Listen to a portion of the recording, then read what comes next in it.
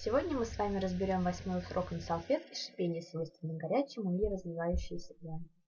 Давайте представим большой костер, да, который ярко очень горит, в нем очень много поленьев.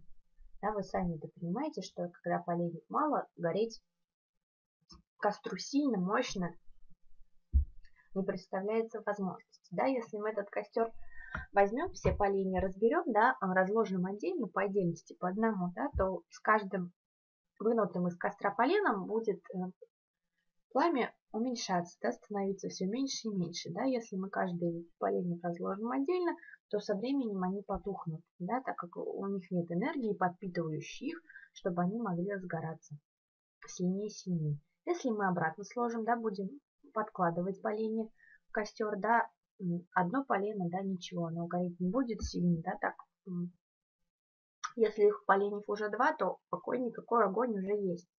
Да, чем больше поленьев, тем сильнее становится пламя, да, когда очень много поленьев, когда прям все сильно-сильно горит, а это такой уже серьезный костер, мощный, яркий, яркое пламя, да, искры, шипение, вот то же самое, да, потрескивание идет, прям зарево такое от этого костра шикарное получается, да. То есть, смотрите, да, это как а, в нашем бизнесе, да, то есть если вы приглашаете людей, да, подкладываете поленья в костер, то он разгорается еще сильнее, еще мощнее, увеличивается энергия, становится прям очень огромная сила получается в этой вот команде людей. Да, когда вы сами еще пришли в бизнес, вы еще, у вас мало опыта, да, мало знаний, вы даже не полезны, вы еще просто веточка. Да, когда а, вы уже вместе со своим спонсором общаетесь, да, а, развиваетесь вместе, обучаетесь, спонсируете людей, у вас уже какое-никакое пламя есть, да, пусть небольшое, но есть, да, приглашая людей в свою команду, подкладывая поленья, да, в свой костер, он разгорается, он становится больше, мощнее, да, сильнее и ярче.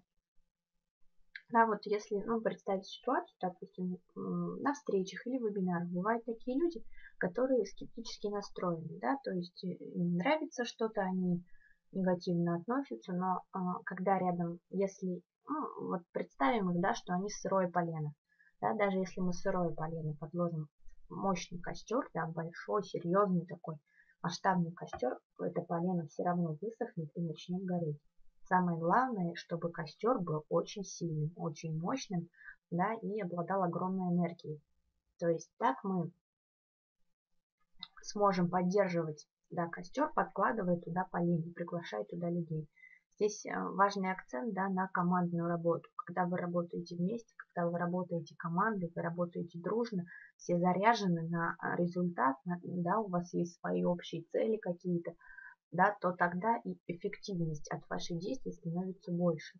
То есть вы усиливаете мощь, да, заряд своего костра, чем он круче, соответственно, тем лучше ваши результаты. На этом все. Спасибо за внимание.